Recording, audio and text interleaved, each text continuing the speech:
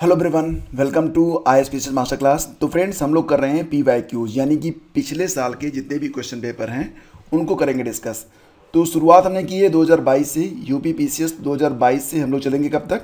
2018 तक चलेंगे. और आज ये जो क्वेश्चन पेपर आप देख रहे हैं, यह U P P C S दो हज़ार बाईस का पेपर है जी एस का पहला पेपर है, और इसमें से प्रश्न संख्या एक से लेकर अस्सी तक. ऑलरेडी हम लोग जो है डिस्कस कर चुके हैं। इसका जो पार्ट वन है लिंक वीडियो के डिस्क्रिप्शन में है। जाकर अभी आप लोग देख लीजिए। उसके आगे 81 मतलब कुल मिला के आज हम लोग क्या पढ़ने वाले हैं? क्वेश्चन नंबर 81 से 150 तक के सारे प्रश्न देखेंगे। और टू दी पॉइंट चलेंगे। बहुत ज़्यादा व्याख्या नहीं होगी। केवल प्रश्न होंगे, उसके उत्तर होंगे, ताकि आपका समय ज़्यादा न लगे और आपको ये आइडिया लग जाए कि किस प्रकार के प्रश्न एग्ज़ाम में पूछे जाते हैं। और कैसे और किस टॉपिक की तैयारी आपको अभी कर लेनी है? तो क्वेश्चन नंबर 81 पे आइए। संयुक्त राष्ट्र संघ के पर्यावरण कार्यक्रम द्वारा इसको जो जानते हो क्या कहते हैं? U N E P United Nation environmental programme के द्वारा जारी वार्षिक फ्रंटियर रिपोर्ट 2022 के अनुसार दुनिया का दूसरा सर्वाधिक ध्वनि प्रदूषण युक्त भारत का कौन सा शहर है? तो इसका आंसर था ऑप्शन बी मुरादाबाद। ओजोन तिथि दिवस किस दिन को मनाया जाता है? तो यह 16 सितंबर को होता है। इंपॉर्टेंट क्वेश्चन है, कई बार रिपीट हुआ है तो इसको बिल्कुल रट लेना। जलियावाला बाग हत्याकांड के विरोध में किसने ब्रिटिश सरकार की नाइट हुड की जो उपाधि थी, उसको लौटा दिया था? तो रविंद्रनाथ टैगोर जी ने ऑप्शन बी इसका करेक्ट है। सत्यशोधक समाज के संस्थापक कौन थे? आप जानते हैं इनका नाम ज्योतिबा फुले। इसके बाद आगे देखिए दो यहाँ पर सूचियाँ दी गई हैं। यू पी ऐसे प्रश्नों को बहुत बार पूछता है। तो बस आपको यहाँ पर क्या करना है? मिलान कर लेना है, ठीक है? तो फिर आप देखेंगे यहाँ पर इसका आंसर क्या बनेगा? भारत के जलप्रपात और उनकी अवस्थिति। तो इसका जो विकल्प है वो क्या रहेगा? देखो दूध सागर ये मिलेगा आपको गोवा में, इसके बाद बरकाना, कर्नाटक में, इसके बाद ये जो आपका खंदादार है ये उड़ीसा में है, पलानी, ये हिमाचल प्रदेश में है। तो विकल्प चार आपका यहाँ पर सही है। किस उत्पाद को इको मार्क दिया जाता है? तो जो पर्यावरण से मित्रवत हो तो ऑप्शन सी इसका करेक्ट है।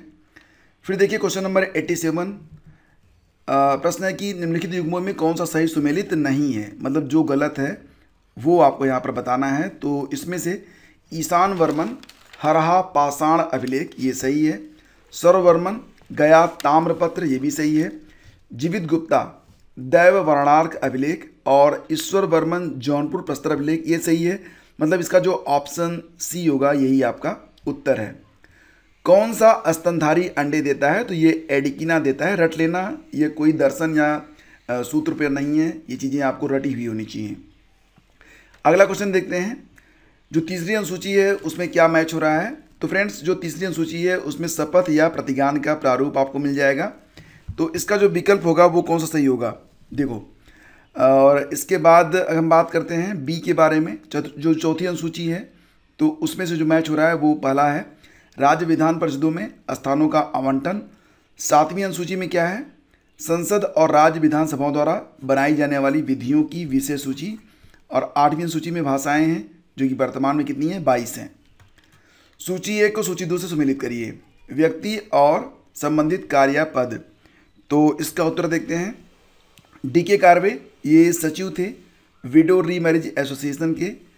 जे ई डी वेथुन, ये कलकत्ता में कन्या विद्यालय की स्थापना इन्होंने की थी। ईश्वरचंद विद्यासागर कलकत्ता में संस्कृत कॉलेज के प्राचार्य थे और वी एम मालाबारी, बाल विवाह विरुद्ध संघर्ष प्रारंभ किया था इन्होंने ही। फिर देखिए आपका अगला क्वेश्चन। कि पश्चिमी उत्तर प्रदेश के संदर्भ में पहला कथन है कि उत्तर प्रदेश का पश्चिमी क्षेत्र अन्य क्षेत्रों की तुलना में अधिक विकसित है। यह क्षेत्र हरित क्रांति का साक्षी रहा है तो पहला और दूसरा विकल्प दोनों यहाँ पर सही है। नई दिल्ली की किस प्रसिद्ध इमारत को प्रधानमंत्री संग्रहालय में बदला गया था तो तीन मूर्ति भवन को। इसके बाद देखिए, बलवंत राज मेहता समिति ये बनी उन्नीस सौ सत्तावन में। अशोक मेहता समिति बनी 1977 में। एल एम सिंघवी समिति बनी थी उन्नीस सौ छियासी में। पी के थुंगन समिति बनी थी 1988 में। पारिस्थितिकी निकेत के संदर्भ में, अब देखो with reference to the ecological niche which of the following statement is are correct तो पहला स्टेटमेंट है कि यह उन स्थितियों की श्रेणी का प्रतिनिधित्व करता है जो संसाधनों के उपयोग और पारिस्थितिकी तंत्र में उसकी कार्यात्मक भूमिका का सहन कर सकती है तो ये सही है। और प्रत्येक प्रजाति का एक अलग स्थान होता है, ये भी सही है। तो दोनों विकल्प यहाँ पर आपके करेक्ट हैं। शेर शाह को प्रभावित करने वाले जैता और कुंभा किस स्थान से संबंधित थे? तो जैता और कुंभा, ये मारवाड़ से संबंधित थे ऑप्शन सी इसका करेक्ट होगा। और ये कहानी बड़ी दिलचस्प है और शेरशाह ने इन दोनों की वीरता से घबरा कर कहा था कि मैं मुट्ठी भर बाजरे के चक्कर में पूरी हिंदुस्तान के मतलब पूरी हिंदुस्तान की जो हमारी सियासत थी, उससे मैं हाथ धो बैठता। भारत में किस धार्मिक समूह का सर्वाधिक भाग नगरीय है? तो जैन धर्म। 10 अप्रैल 2022 को घोषित नीति आयोग के राज्य ऊर्जा राज्य ऊर्जा और जलवायु सूचकांक। ये याद रख लेना जो लेटेस्ट पैटर्न में है। तो इसके बारे में जो सही है वो ऑप्शन यहाँ पर, कौन सा सही है ये बताना है आपको। तो सही जवाब इसका है ऑप्शन सी, गुजरात, केरल और पंजाब। अगला क्वेश्चन देखिए, उत्तर प्रदेश के निम्नलिखित नगरों पर विचार कीजिए तथा उन्हें जनसंख्या के आधार पर और वही क्रम में व्यवस्थित कीजिए। तो सबसे पहले आएगा आपका कानपुर आएगा, फिर आएगा आपका यहाँ पर लखनऊ, फिर आएगा आपका गाज़ियाबाद, फिर आएगा आपका आगरा। तो इस प्रकार से आपको मैच करना था मतलब दो, चार, एक, तीन तो ये विकल्प सी आपका यहाँ पर बिल्कुल करेक्ट है। दो, चार, एक, तीन में जो विकल्प सी है, ये बिल्कुल सही है। अंतर्राष्ट्रीय अंतरिक्ष स्टेशन पर किसी नासा के अंतरिक्ष यात्री द्वारा सर्वाधिक लंबी अंतरिक्ष यात्रा का रिकॉर्ड किसका है? तो एंटन सेप्लेरो का। एंटन सेप्लेरो। थोड़ा मैं जूम कर लेता हूँ ताकि आ, मतलब जो हिंदी का मैटर है तो आपको क्लियर दिखे। यहाँ पर हिंदी और अंग्रेज़ी दोनों से हो रहा था तो कुछ लोगों को मतलब क्लियर नहीं दिख रहा होगा तो थोड़ा मैं इसको जूम कर देता हूँ ताकि आप लोग बिल्कुल क्लियर इसे देख पाएँ कि मैं क्या पढ़ा रहा हूँ और आपको यहाँ पर क्या मटेरियल मिल रहा है। ठीक है? तो चलिए आगे बढ़ते हैं और निम्नलिखित विषयों पर विचार कीजिए तथा उन्हें कालक्रमानुसार, जैसा कि संविधान में उल्लिखित है, उस प्रकार से आपको व्यवस्थित कर देना है। तो इसमें सबसे पहले क्या आएगा? संघ तथा उसका कार्यक्षेत्र, फिर नागरिकता, उसके बाद राज्य के नीति के निर्देशक तत्व और फिर आएगा मौलिक कर्तव्य। तो मतलब बी के हिसाब से इसको आपको अरेंज करना है। अगला क्वेश्चन देखिए, निम्नलिखित में किस ऑपरेशन के अंतर्गत भारत सरकार द्वारा भारत के मेडिकल कॉलेजों को यूक्रेन से भारत लाया गया है ये संदर्भित नहीं है, लेकिन रट लेना। जो भी ऑपरेशन इस प्रकार के होते हैं, जिसमें राहत सामग्री भारत पहुंचाता है तो वो प्रश्न अक्सर यूपीपी से पूछ लेता है। तो ऐसे जो प्रश्न आते हैं, उसको रट लेना आप। कौन सी हरित गृह गैस नहीं है तो आर्गन, ये तो आप जानते ही हैं। औरंगज़ेब के शासनकाल की निम्नलिखित घटनाओं पर विचार कीजिए और उन्हें कालक्रमानुसार व्यवस्थित कीजिए। तो देखो, यहाँ पर देवराई की लड़ाई ये हुई थी, कब हुई थी? ये अप्रैल में हुई थी, पंद्रह में। बाकी जो लड़ाइयाँ हुई हैं, वो इसी प्रकार से पंद्रह की लड़ाइयाँ हैं, लेकिन इनका महीना जो था, वो बदल गया था, पंद्रह तो मैं आपको बता देता हूँ, देखो ये लड़ाई फरवरी में हुई, फरवरी पंद्रह में, ये अप्रैल पंद्रह में, और सामूगढ़ की लड़ाई हुई थी मई पंद्रह में। तो पहले बनेगा आपका यहाँ पर दो, फिर बनेगा चार, फिर बनेगा सामूगढ़ की लड़ाई, और फिर ये, ठीक है? तो ये आपका सही जवाब होगा। इसके बाद देखिए, भारत के किस राज्य ने स्वच्छ जल और जल सुरक्षा के लिए देश का प्रथम digital water data bank aquarium तो ये कर्नाटक है तो इस प्रकार के प्रश्न भी आएँगे। शनि ग्रह के वायुमंडल में कौन सी गैस सबसे अधिक पाई जाती है? तो सी एच फोर पाई जाती है that is option C Karakum मरुस्थल किस देश में स्थित है? ये बहुत इंपॉर्टेंट क्वेश्चन है और इसका सही जवाब है तुर्कमेनिस्तान ऑप्शन ए डेंगू बुखार यह एडीज मच्छर के काटने से होता है, मादा जो एडीज होती है, उसी के काटने से होता है। इसके बाद फिर अगला क्वेश्चन देखते हैं। तो क्वेश्चन नंबर एक सौ आठ देखते हैं। ग्रंथ और उनके रचनाकार कौन है? तो लाइक एज यहाँ पर जो क्वेश्चन है, ये बिल्कुल रट लेना, क्योंकि यहाँ पर भी कोई फिलासफी आपकी काम नहीं करेगी। रागमाला को किसने लिखा था? तो फ्रेंड्स रागमाला पुंडरिक पुंडरिक विट्ठल की रचना है। रस कौमुदी जो है, यह श्रीकंठ की रचना है। इसके बाद राग विबोध, सोमनाथ और चतुर्दंडी प्रकाशिका वेंकट रमण की रचना है। निम्नलिखित युग्मों में कौन सा सही सुमिलित नहीं है? रेडियो एक्टिव पदार्थ की सक्रियता जो है, वो बेकुरल में मापी जाती है बी क्यू तो ये जो है गलत है मतलब यही हमारा उत्तर बनेगा। लेंस की क्षमता डायप्टर में मापी जाती है उष्मा जो है जूल में मापी जाती है, और दाब या जो दबाव होता है, वो पास्कल में मापा जाता है। तो यहाँ पर देखिए जैव आरक्षित क्षेत्र दिए गए हैं और किस राज्य में, ये बताना है आपको। मानस मिलेगा आपको कहाँ पर? असम में। सुंदरबन मिलेगा पश्चिम बंगाल में। नंदा देवी पर्वत, ये उत्तर प्रदेश में है और पचमढ़ी यह मध्य प्रदेश में है। तो इस प्रकार से आपको मैच कराना होगा। फिर अगला क्वेश्चन देखिए, कौन सा सतत विकास लक्ष्य एसडीजी हेतु दो हज़ार तीस तक प्राप्त करने का लक्ष्य नहीं है? कुल मिला जो सत्रह एस गोल हैं, उसमें ये पहला शामिल नहीं है, अंतरिक्ष अनुसंधान।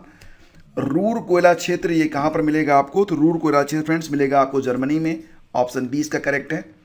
संपीड़ित प्राकृतिक गैस सीएनजी मुख्यतः बनती है किससे? तो मीथेन से बनती है सी एच फोर से। महासागर और अधिकतम गहरा बिंदु। प्रशांत महासागर का जो अधिकतम गहरा बिंदु है, वो कौन सा है? तो देखो, यहाँ पर जो प्रश्न है, वो बहुत ही इंपॉर्टेंट है। देखो, यहाँ पर जो प्रशांत महासागर में आपको क्या मिलेगा? मेरियाना ट्रंच मिलेगा। आर्कटिक में मिलेगा मोलाय। हिंद में क्या मिलता है आपको? सुंडागर्त मिलेगा आपको हिंड में और अंध, यानी कि अटलांटिक महासागर का प्यूटो रिको गर्त है। इसको ट्रंच भी कहते हैं। अनुमति योग्य शोर के स्तर के संदर्भ में आपको मैच करना है। आवासीय क्षेत्र में तो सबसे, देखो यहाँ पर जो आपको मैच कराना है वो क्या है? इसका जो सही जवाब है, आवासीय क्षेत्र में यह पचपन डी के आसपास होना चाहिए, शांत क्षेत्र में पचास डी औद्योगिक क्षेत्र में जो ये रहेगा आंकड़ा, वो कितने का रहेगा? तो देखो, ऐसे प्रश्न कई बार आएँगे तो इसको बिल्कुल रट लेना आपको। ये सत्तर डी का होता है, व्यापारिक में पैंसठ डी का होता है। इस प्रकार से आपको इसको मैच कर लेना है। किसने भारत के राष्ट्रपति का पद ग्रहण करने के पूर्व उपराष्ट्रपति के पद पर कार्य नहीं किया था? तो ये थे नीलम संजीव रेड्डी। आदर्श पत्र या पत्रिका और प्रकाशन का स्थान तो इसको भी मैच कराना होगा आपको। इसका सही जवाब क्या होगा? स्वदेश यह प्रकाशित होती थी गोरखपुर से। और भारत बंधु ये हाथरस से, सत्यवादी जो था, ये आगरा से और शक्ति जो है, अल्मोड़ा से प्रकाशित होता था। अगला क्वेश्चन देखिए। मेक इन इंडिया के बारे में क्वेश्चन है कि मेक इन इंडिया प्रोग्राम वर्ष 2014 में प्रारंभ हुए थे, ये बिल्कुल सही है। और इसके बाद अगला, इसका उद्देश्य भारत में कंपनियों को विनिर्माण हेतु प्रोत्साहन देना तथा निवेश को सुगम बनाना है। तो दोनों ही कथन यहाँ पर सही है मतलब कि इसका ऑप्शन बी यहाँ पर करेक्ट है।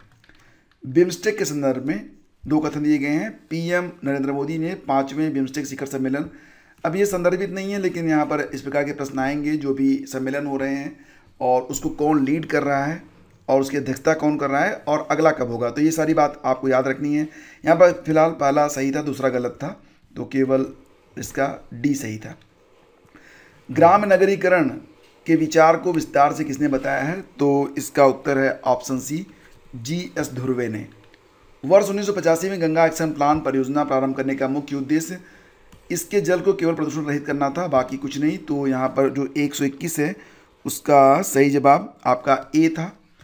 सूचियाँ दी गई हैं, इसको तो आप इसको तो आप आसानी से मैच करा लेंगे। शिव का जो आयुध है, वो त्रिशूल है, विष्णु के पास चक्र होता है, गणेश जी के पास रस्सी या फंदा होता है, और माता सरस्वती जो हैं, ये वीणा बजाती हैं। तो ये मैच हो गया आपका।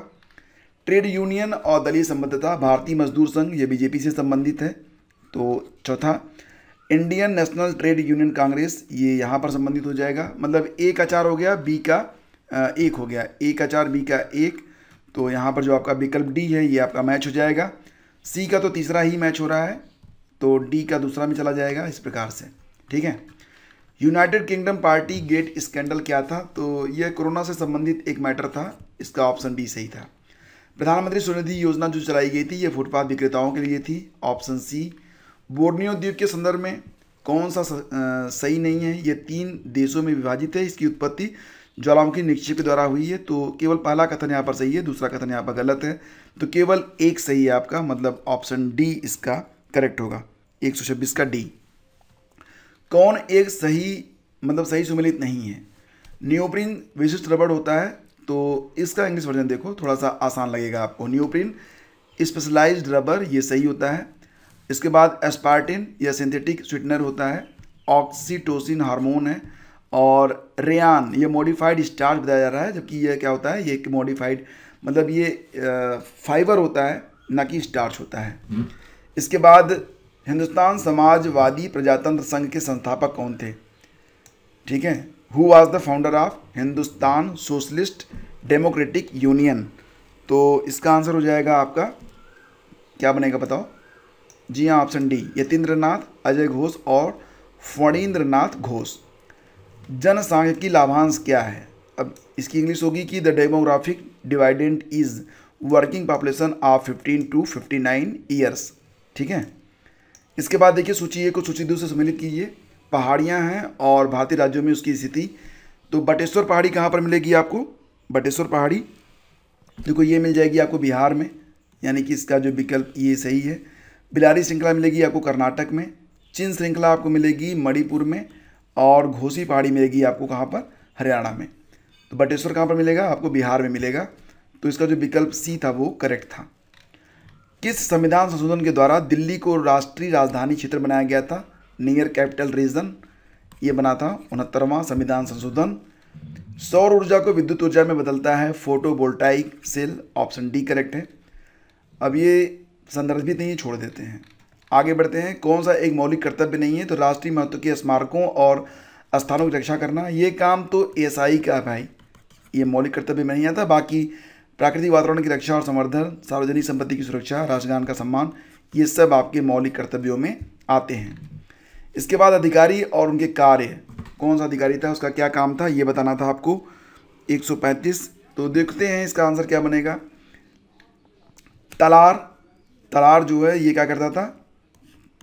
रात्रि कालीन सुरक्षा मतलब जो रात्रि में सुरक्षा कर्मियों का अधिकारी होता था। पट्टा कोल ये ग्रामीण कर वसूली करने वाला अधिकारी होता था। इसके बाद शासाधिपति चोरी डकैती और बलाधिप, चुंगी का सुरक्षक।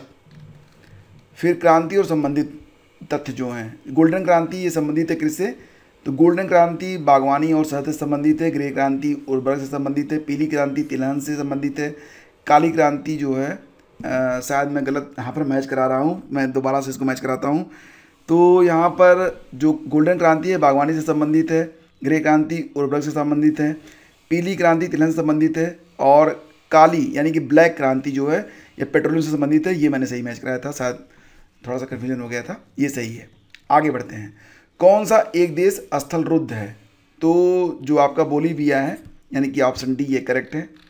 अगला क्वेश्चन है कि पृथ्वी का वायुमंडल मुख्यतः किसके द्वारा तप्त होता है? तो देखो, अंग्रेज़ी में समझ लेते हैं इसको। अंग्रेज़ी आसान पड़ती है। Long wave terrestrial radiation that is in Hindi क्या होगा? दीर्घ तरंग स्थलीय विकिरण। हमारे द्वारा उपयोग किए जाने वाले ऊर्जा के अधिकांश स्रोत संग्रहित सौर ऊर्जा का प्रतिनिधित्व करते हैं। कौन सा अंततः सूर्य की ऊर्जा से भी उत्पन्न नहीं होता है? तो भैया, सूर्य की ऊर्जा से नाभ की ऊर्जा नहीं निकलेगी, बाकी सारी ऊर्जाएँ तो सूर्य से ही निकलती हैं। वर्ष 2022 के प्रारंभ में कौन सा देश इस्पात उत्पादन में विश्व में सबसे टॉप पर रहा? तो ये चाइना है। मतलब एक सौ चालीस का क्वेश्चन नंबर ए सही होगा। ऑप्शन नंबर ए सही होगा। तेरहवीं लोकसभा उन्नीस सौ निन्यानवे में आई। ग्यारहवीं लोकसभा उन्नीस सौ छियानवे में आई। नवीं लोकसभा उन्नीस सौ नवासी में आई। सातवीं लोकसभा उन्नीस सौ बयासी में आई। गलत। ये आई थी 1980 में। जब इंदिरा गांधी जी बहुत ज़ोरदार वापसी की थी उन्होंने सातवीं लोकसभा में। फिर देखिए कौन सा एक सही सुमेलित है। एक मैच हो रहा है यहाँ पर, मुझे सब पहले दिख गया। ऑप्शन सी सही है यूएनडीपी ने निर्धनता की निम्नलिखित श्रेणियों की पहचान की है तो आय निर्धनता और मानव निर्धनता दोनों। भूमध्य सागरीय जलवायु के क्षेत्रों में वर्षा शीत ऋतु में होती है, सही बात है। गर्मियों में ये क्षेत्र शुष्क स्थलीय हवाओं के प्रभाव में रहते हैं, ये भी सही है। तो दोनों कथन यहाँ पर सही हैं। मतलब डी आपका जो ऑप्शन है ये बिल्कुल सही रहेगा। और जल जीवन मिशन योजना, किस वित्तीय वर्ष के केंद्रीय बजट में घोषित की गई थी? जल जीवन मिशन योजना। तो वित्तीय वर्ष का जो केंद्रीय बजट मतलब केंद्रीय बजट जो है, वो इंपॉर्टेंट टॉपिक है, उसको ज़रूर पढ़ लेना आप लोग। उससे कई सारे प्रश्न हर साल पूछे जाते हैं। तो यहाँ पर जो आपका आंसर बन रहा है, वो क्या बन रहा है? ऑप्शन ए बन रहा है। किस मुगल शासक ने बनारस के संस्कृत और हिंदी के महान विद्वान कविंद्र आचार्य सरस्वती को राजकीय संरक्षण प्रदान किया था? तो ये शाहजहाँ था, ऑप्शन ए करेक्ट है। उत्तर प्रदेश दिवस होता है 24 जनवरी को, आप जानते ही हैं, इसी दिन बालिका दिवस भी मनाया जाता है। कोविड नाइन्टीन के लिए जो दिया जाता है सिनोवैक यह संपूर्ण वायरस का टीका होता है। और ये क्वेश्चन देखिए 2022 और 2026 के प्रस्तावित कॉमनवेल्थ गेम्स के संदर्भ में है। तो जुलाई अगस्त 2022 में कॉमनवेल्थ गेमों का आयोजन बर्मिंगम में हुआ, ये सही है। 2026 में ये कहाँ पर होगा? विक्टोरिया, ऑस्ट्रेलिया में होगा, ये भी सही है, दोनों कथन यहाँ पर करेक्ट हैं। इसके बाद केंद्रीय पर्यावरण, वन और जलवायु परिवर्तन मंत्रालय, भारत सरकार ने डॉल्फिन डे मनाया था कब? पाँच अक्टूबर को घोषित किया है तो ये भी सही है। इस प्रकार से आपके कुल 150 प्रश्न यहाँ पर कंप्लीट होते हैं। कल के वीडियो में हम लोग क्या पढ़ने वाले हैं? 2021 के कुल 75 क्वेश्चन होंगे। इसके बाद इसी प्रकार से पचहत्तर पचहत्तर पचहत्तर पचहत्तर प्रश्न पढ़ते पढ़ते हम लोग कहाँ तक चलेंगे? दो हज़ार अठारह तक चलेंगे, अगर आप लोग कहेंगे तो इसके पीछे भी। तो बने रहिए हमारे साथ, प्रतिदिन प्रैक्टिस करते रहिए। पी वाई क्यू से कई सारे प्रश्न आपको डायरेक्टली मिल जाएँगे। और इससे आपकी जो क्षमता होती है वो भी बढ़ती है। तो चैनल को अगर आपने अभी तक सब्सक्राइब नहीं किया है तो सब्सक्राइब कर लेना। अगर ये क्वेश्चन पेपर आपको चाहिए तो जी कमेंट बॉक्स में कमेंट कर देना। मैं आपको एक लिंक प्रोवाइड कर दूँगा। वहाँ से आपको ये क्वेश्चन पेपर देखने को मिल जाएँगे। मतलब डाउनलोड कर सकते हैं। क्वेश्चन पेपर भी और आंसर भी। Thank you so much